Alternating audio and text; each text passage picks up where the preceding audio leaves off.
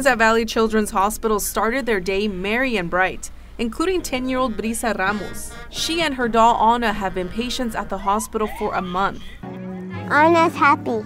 Anna's happy too. Yes. Valley Children's Hospital hosted its annual Emergency Medical Services Escort. Patients received their presents this holiday season. Oh boy.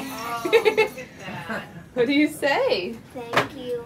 You're welcome. Ah, I see the motorcade approaching back there. Look at this. But this year, staff members say they went one step further.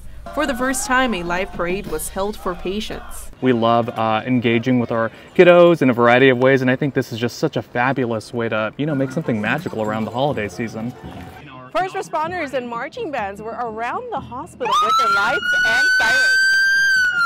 Just from what I saw, uh, light up of faces, uh, lots of laughter. They loved the balloons and the decor that we had set out. Um, even just Santa waving from the fire truck was really uplifting for them to see. Ramos says her favorite part of the parade was watching Santa Claus and Mrs. Claus on the fire truck.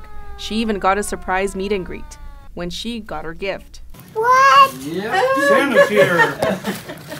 Look who came to see you. Merry Christmas. Brisa couldn't stop smiling, despite her long stay in the hospital. I enjoyed that I got to say hi to all of them. It was really fun.